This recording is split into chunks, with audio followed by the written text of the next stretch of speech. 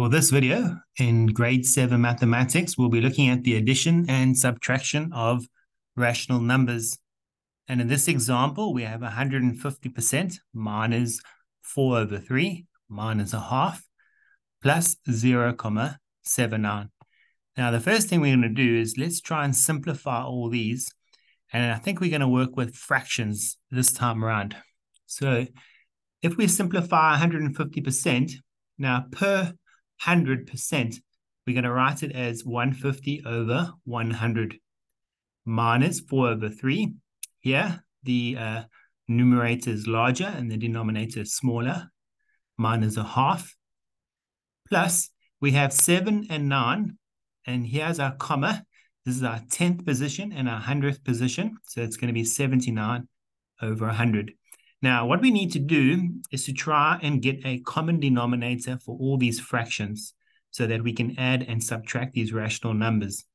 Now, 3 cannot go into 100. You're going to end up with a decimal. So we're going to have to make this denominator much bigger so that 100, 3, 2 can all go into the same value. So the most obvious common denominator here is going to be 300. So let's start with our first fraction. First, we have 150. Now, to convert 100 to 300, we're going to multiply by 3. So, therefore, the, the numerator, 150, multiply by 3. 150 plus 150 is 300. 300 plus 150 will give us 450. Right, for the next fraction, we have 4 over 3. Now, to convert 3 to 300, we're going to multiply by 100. So, therefore, 4 multiplied by 100 means our numerator will be 400. Now, moving on to the next fraction, we have minus a half. Now, to get a common denominator of 300, 2 times 150 will give us 300. So, therefore, we must multiply the numerator by 150. So, therefore, we will have minus 150. For the last fraction, we will have a common denominator of 300. So to convert 100 to 300, we'll multiply by 3. So we multiply the numerator by 3. Now to try and, and work out the value of that, um, let's round it off to 80 first. 80 multiplied by 3 will give us 240. And then 240 less the 3 will give us 237. So 79 times 3 will be 237. There's a positive sign, so it'll be plus 237.